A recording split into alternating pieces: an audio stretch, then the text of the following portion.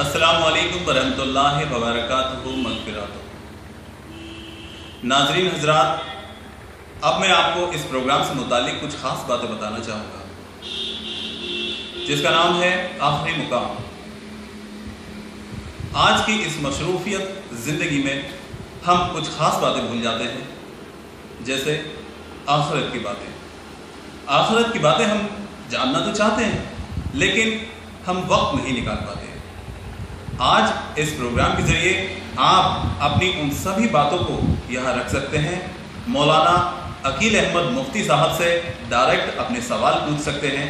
आपके सवालों के जवाब बाखूबी मुफ्ती साहब देंगे और वह भी कुरान और हदीस की रोशनी में।